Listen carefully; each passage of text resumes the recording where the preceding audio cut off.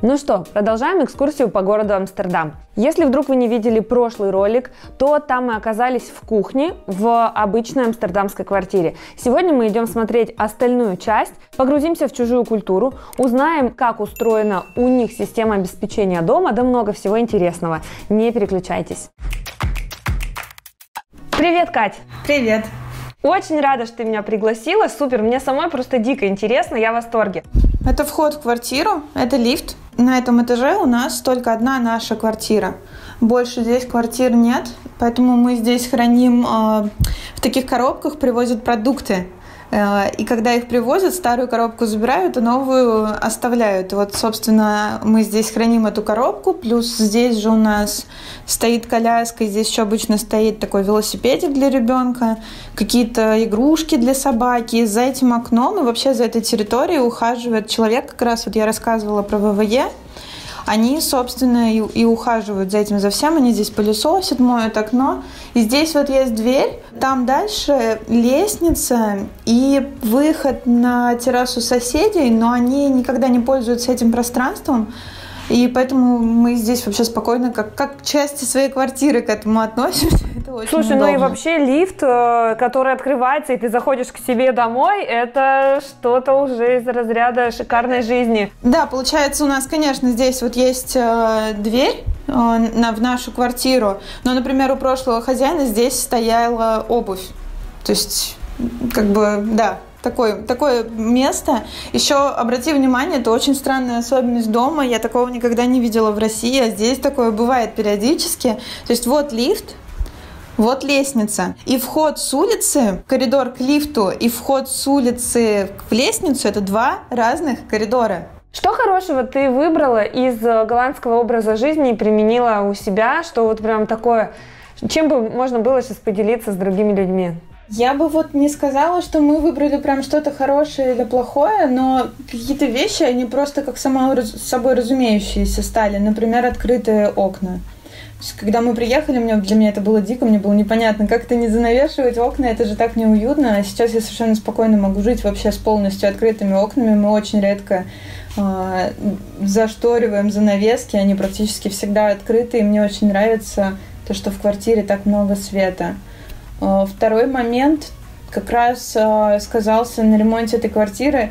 Мы не стали сильно заморачиваться с ремонтом. То есть мы привели в порядок стены, привели в порядок э, все именно в цветовой гамме, но не стали уделять этому слишком много внимания, довели это до какого-то уютного состояния минимальными затратами. Получается, у вас квартира двухэтажная? Да, это вход в квартиру прихожей. Здесь мы оставляем э, куртки и храним обувь. Здесь прихожая получается небольшая, она, и она так сделана, что, допустим, у нас здесь нет зеркала. Мы никак не можем придумать, куда его повесить. И шкаф особо, да, не сделать, иначе дверь не будет открываться. Да, его просто некуда поставить. Может, если кто-то из твоих подписчиков как раз нам скажет, куда здесь можно зеркало приткнуть, будет классно.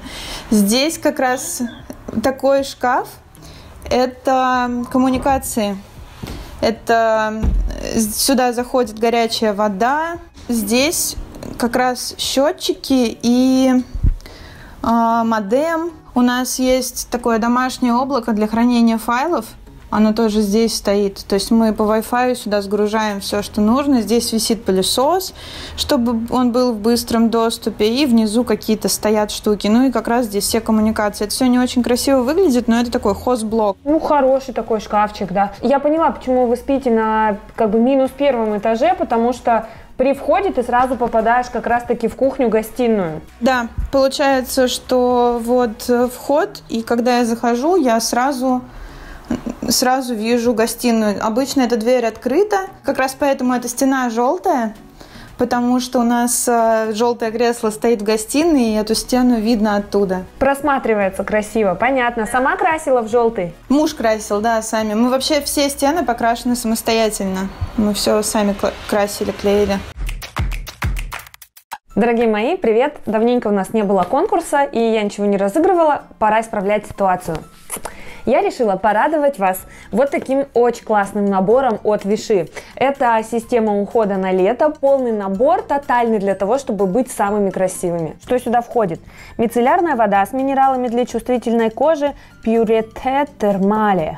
Она подходит для использования каждый день. В процессе тщательного очищения с кожи смываются вредоносные бактерии, которые могут послужить причиной не только возникновения акне, но и других заболеваний. Вулканическая термальная вода Виши, насыщенная 15 минералами. Если вдруг вы почувствуете сухость кожи дома и необходимость увлажнить ее, эта малышка точно вас спасет. Летом у меня постоянно термальная вода от Виши с собой в сумке, маленький размер удобный и всегда можно спастись. А еще для успокоения кожи и восстановления ее защитного барьера используйте термальную воду для рук после применения антисептиков. Обожаемый мной Mineral 89, который подходит для любого возраста и любых типов кожи, его можно использовать ежедневно для укрепления и как промежуточный слой под крем. Конечно же, легкий крем для интенсивного увлажнения кожи и маска для дополнительного интенсивного увлажнения. Маска моментально восстанавливает естественные защитные свойства кожи и уменьшает дискомфорт. Такой продукт нужно использовать 2-3 раза в неделю. Для того, чтобы принять участие в конкурсе и выиграть вот такую вот интересную коробочку, нужно сделать репост этого видео в любой из своих социальных сетей или мессенджеров, быть подписчиком моего канала, написать комментарий под этим видео и поставить ему лайк. Все предельно просто. Желаю вам удачи! А, в Нидерландах есть такая необъяснимая особенность ничего не делать с потолком. Ну, вообще надо понимать, что если ты кого-то нанимаешь, чтобы кто-то приехал что-то сделать, ты платишь, во-первых, за его работу, что будет стоить уже дорого. Ты оплачиваешь ему проезд до тебя и проезд обратно. Ты оплачиваешь ему парковку, если парковка платная, и он на машине. Соответственно, это выходит прям такая круглая сумма. А если тебе нужен этот рабочий на несколько дней, сама представляешь. Поэтому есть какие-то вещи, которые голландцы не делают. Ну вот они просто не запариваются на эту тему. Например, потолок. Потолок остается в том состоянии, в котором дом сдан. И в итоге он в такую какую-то странную мелкую структуру, и прям видно, где идет плита. Я уже привыкла. Если раньше я на эту тему так заморачивалась, я ходила, думала, боже, я выровню, я выровню, выровню его, сейчас нормально. Я уже даже не замечаю. Прикольно, слушай, интересно. Это лестница, это особенность голландских домов. Лестница очень крутая, прям такая конкретная. Наши родители боятся по лестницам по таким ходить. И вот здесь еще, кстати, есть интересный момент. Видишь, здесь очень высокий потолок. И я все жду момента, когда у нас там перегорит лампочка, потому что Как менять, да? Я не понимаю, как, как менять, да, ну потому что здесь лестница, это строители уже сделали, то есть это сделали не мы, и я не представляю. Вот э, эти наклейки на лестницу, э, лестница изначально шла просто белая, но это получается довольно скользко. Она просто белое дерево, ну, это дерево, оно покрашено в белый. И мы купили вот такие наклейки, как из ковролина. Они у нас продаются в магазинах, типа магазина Праксис, например. Это что-то похожее на Леруа Мерлен. Я думаю, возможно, у вас тоже такое есть, и это решает ситуацию. И недостаток открытой лестницы в том, что мы по ней ходим несколько раз в день, и, соответственно, хочешь не хочешь, мы постоянно на, на ногах носим какой-то мусор, который постоянно под лестницу сваливается. И там всегда грязно. Хотя мы каждый день пылесосим, с этим ничего невозможно сделать. И что у тебя там хранится? Здесь у меня хранится моя домашняя одежда, а, постельное белье. В принципе, все. Ну и какие-то просто милые штучки. Кошка очень любит лестницу. Еще потому, что собака не может по этой лестнице спуститься вниз. У нас корги, а у корги маленькие лапки, а кошка может, поэтому этот этаж, он принадлежит кошке.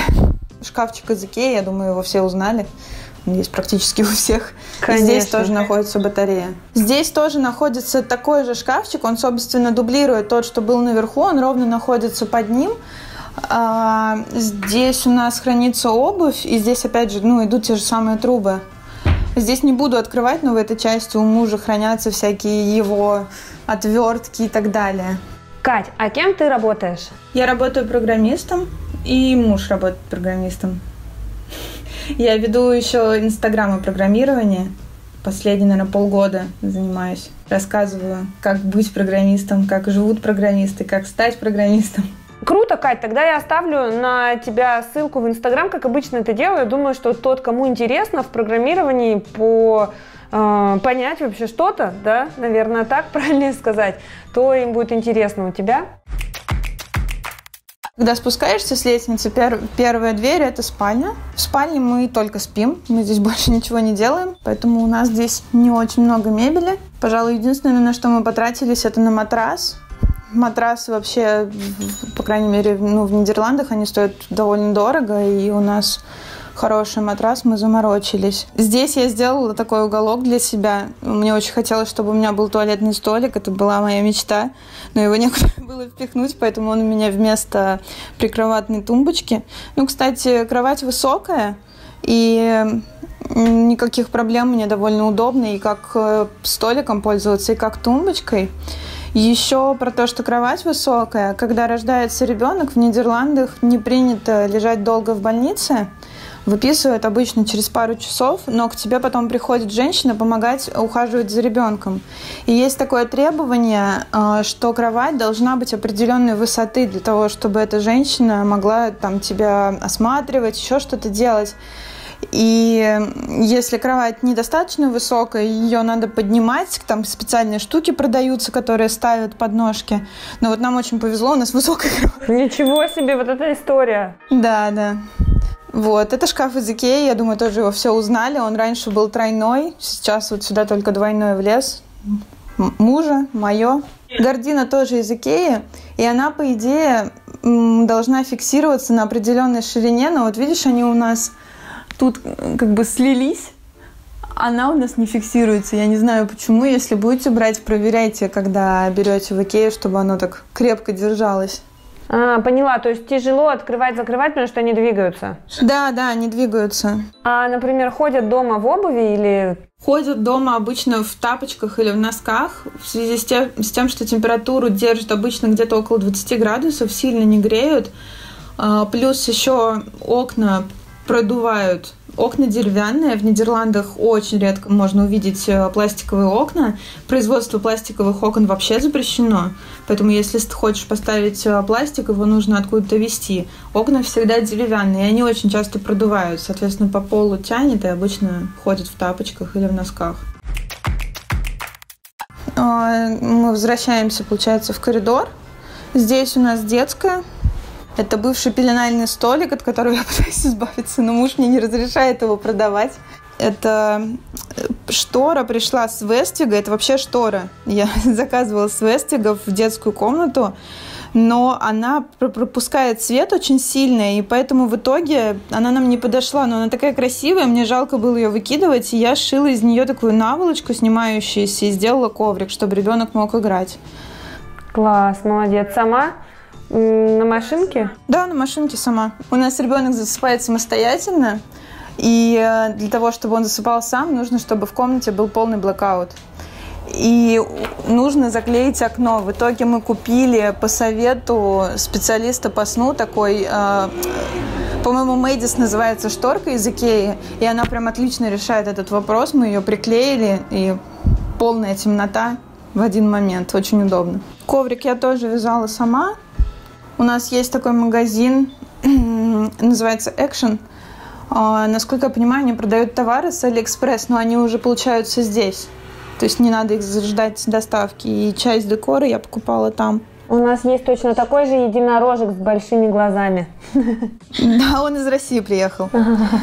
Я, кстати, не знаю, делают ли так в России, но мне много просто кто писал, типа, зачем вам это нужно, когда мы купили. Это мусорка для памперсов потому что мы сейчас находимся на нижнем этаже, а мусорка для черного мусора на верхнем этаже. И я бы сошла с ума носить памперсы каждый раз на другой этаж. Поэтому она здесь, она блокирует запах, это очень удобно. Еще я увлекаюсь э, астрономией, но как это громко сказано, увлекаюсь. У меня появился телескоп в момент, когда у меня уже был ребенок, соответственно, куда-то выезжать не получается, но за счет того, что в квартире большие окна, и, кстати, очень везет, с тем, что мы живем, мы живем на искусственном острове, место, где мы находимся, оно вообще это не земля. Ее раньше не было. Просто голландцы вот решили, что здесь будет остров. Они насыпали землю, подождали, и построили в итоге здесь дома. Вообще-то здесь э, раньше было море.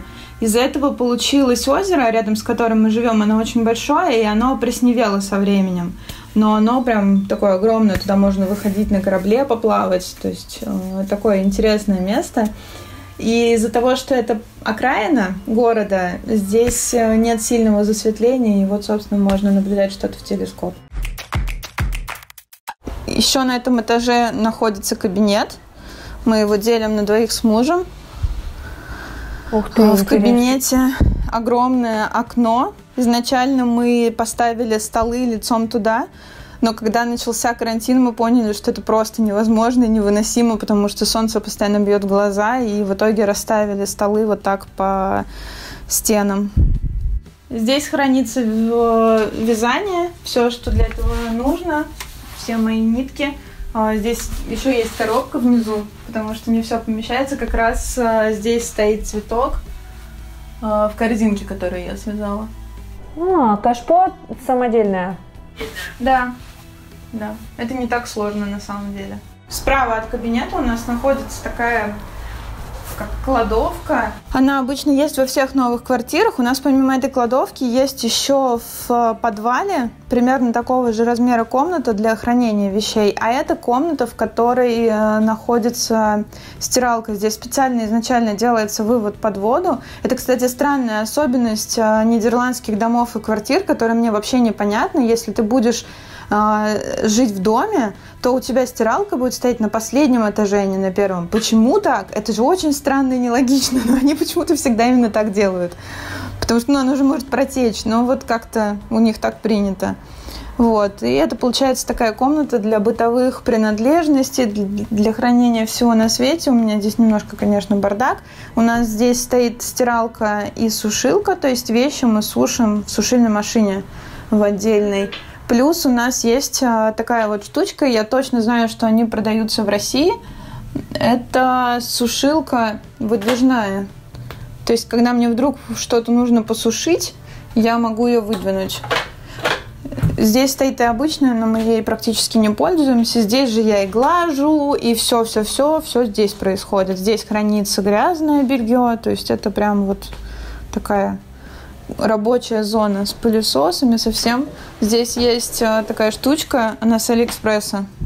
Очень, кстати, удобно. Здесь стоят все швабры, паровая швабра. Вот этот кубик – это такая розетка.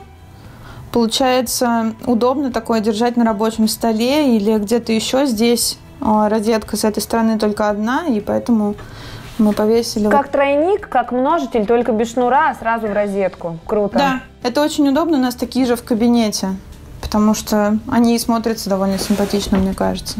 А у тебя есть какие-нибудь такие, знаешь, э, воспоминания, типа, ой, как в России, вот, вот это в домах круто. Вот, например, я, когда э, поездила по разным странам, поняла, да, что наши люди очень в хорошем смысле классно заморачиваются на ремонт квартир. Потому что у нас все так основательно, красиво, везде аккуратно, приаккуратно. Ну, э, если люди вкладываются в ремонт, то это прям капитальный ремонт такой добротный, когда ты заходишь, у тебя все тютелька в тютельку. В Европе не так. У вас тоже не так? Да, у нас тоже не так. У нас не заморачиваются на это настолько. При этом интересно, что они они не заморачиваются, но квартира все равно красивая. Если ты приедешь в Амстердам и пойдешь по улице, окна будут в основном не зашторены, ты сможешь заглядывать внутрь, это невозможно не делать. Я знаю, что наверняка это не нравится местным жителям, но, боже мой, это же как? Интересно же. Э, у нас обычно, если уж делают ремонт, то он прям все мелочи будут идеально сделаны. Здесь они не будут об этом заморачиваться. Я не знаю, насколько это хорошо или плохо. Мы, в принципе, к этому привыкли, но иногда у меня бывает такое, что я думаю, блин, вот я бы очень хотела вот это довести до ума, уже сделать идеально. Второй момент, по которому я немного скучаю, из-за того, что я не знаю, я не могу, честно говоря, жить уже в плюс 30, но при этом в плюс 20 зимой все-таки холодно ходить в шортах. И когда я, например, смотрю твои румтуры и вижу, как твои герои стоят зимой в шортах босиком, я думаю, блин, классно. Потому что я обычно в этот момент сижу в теплой пижаме. Ну вот, э, да, конечно, я могу нагреть квартиру для, до плюс 30. В принципе, я не думаю, что мы... Это будет дорого, но я думаю, что это возможно, но я уже просто не выдержу. Мне будет жарко и некомфортно. Ванна, получается, находится под лестницей, и ванна у нас немножко странная. Хозяин квартиры, который здесь жил до нас, ну, как бывший хозяин квартиры, сделал здесь ремонт. Ему, видимо, очень хотелось ванну. В нидерландских квартирах ванная, именно ванная, это редкость. Обычно стоит душ. И изначально вот э, здесь, скорее всего, стояло стекло, и там была душевая кабина. Но ему очень хотелось ванну, и он поставил сюда ванну. И получается, что э, остался вот такой пролет в 26 сантиметров, который бесполезен. Ты туда не можешь вылезти, ты ничего не можешь с ним сделать. Я на него жутко злилась, наверное, год, потому что я думала, ну зачем ты это сделал, мужик? Но э, Просто ремонт ванны будет стоить еще где-то 15 тысяч евро, это довольно дорого, и мы решили пока не, не заниматься этим. Вот купили в Икее такую стоечку, она ровно 26 сантиметров, хоть что-то, чтобы туда поставить. Здесь у нас э, умывальник, здесь я храню полотенце, и здесь такая как э, тумбочка, здесь мы храним косметику и все остальное. Она практически всегда завалена какими-то вещами, потому что ее сложно поддерживать в порядке, но я вот э, стараюсь покупать такие корзиночки, чтобы все было хотя бы сгруппировано. Также здесь идет полочка и зеркало. Зеркало большое, оно во всю стену идет с этой стороны. В принципе, все, что нужно, здесь есть. Такая еще вот особенность, видишь, у нас над всеми дверьми о, стекло. Это как естественный свет, да? От застройщика, и их всегда ставят э, с этим стеклом. Иногда это бывает странно, потому что может быть так, что человек, ну здесь оно замутненное, но может быть так, что оно будет абсолютно прозрачное, и человек, который будет спускаться по лестнице, он будет тебя видеть в ванной. Поэтому это немного странно, но вот, да. Вот эту штучку заказывали с Вествика как раз для полотенец, потому что особо их некуда вешать, сушить. Обрати внимание, нет сушилки. Я, честно говоря, ни разу не видела ванну с сушилкой в Амстердаме. Я не знаю почему, но их нет. Плитка такая точно продается в Леруа Мерлене. Я видела ее. Это как раз, знаешь, плитка блоками такими. Да, да, да. Класс. Ванный туалет это единственное место, где у нас плитка. Во всей остальной квартире у нас а, вот этот белый ламинат. Туалет находится в коридоре, как раз, опять же, в неприватной зоне. Он очень маленький, здесь маленькая раковина, чтобы помыть руки. В принципе, здесь ничего такого особенного нет. Здесь висит такой шкафчик, он из Икеи, это, по-моему, старая коллекция. Мы здесь, здесь храним всякую туалетную бумагу. Ну, получается, да, что этажом ниже туалета нет, и приходится сюда бегать. Даже ночью, Привыкли. Да? Даже ночью. Мы привыкли, в принципе. Не могу сказать, что это проблема. Про переезд, наверное, я бы посоветовала относиться к всему, ко всему немножко проще и понимать, что переезд это не туризм, это совсем другое. И может оказаться, что страна вам подходит, а может, что нет. И это нормально, если вы чувствуете себя после переезда плохо, потому что мне, например, очень тяжело дался первый год, и я знаю, что я такая не одна. И вернуться назад тоже опция. Это не проиграть. Мы не вернулись, нам в итоге здесь хорошо, но я думаю, что ну, нужно просто принимать все аспекты переезда, и, так, и они бывают и плохими, и хорошими. Кать, спасибо большое. Было очень интересно. На самом деле, и хорошо, и плохо, что мы снимаем так, потому что жаль, что я не по-настоящему там нахожусь, но какое счастье, что мы, в принципе, это увидели. Спасибо большое, было очень интересно. Ребята, переходите вниз под видео, там будут контакты Кати, вы можете задать ей все дополнительные вопросы. Спасибо большое, что пришла. Это карантин время возможностей, действительно, потому что когда бы еще... Спасибо. На этом все. Я оставлю в описании плейлист, где вы сможете посмотреть, как живут люди в других странах. Да и вообще, все ссылки в описании полезные. Проходите и смотрите. Конечно же, пишите свои комментарии, задавайте вопросы под этим видео и подписывайтесь на канал, потому что впереди много всего интересного. До скорых встреч. Пока-пока.